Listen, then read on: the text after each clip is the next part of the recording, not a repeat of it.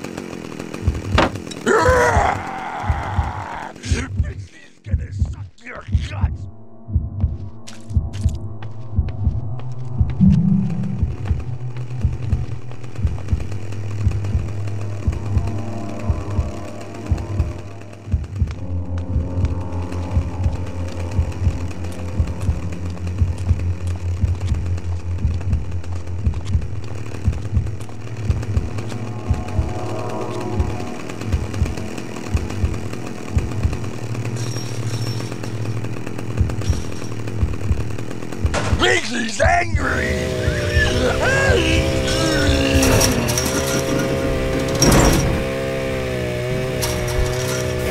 Pretty bored going oh, home.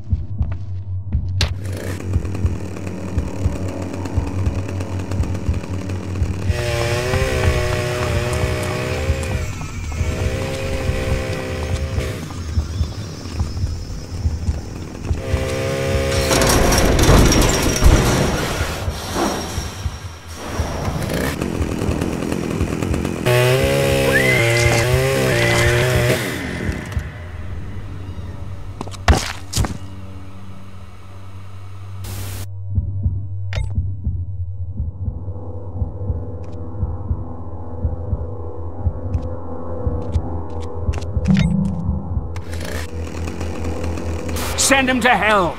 Go on.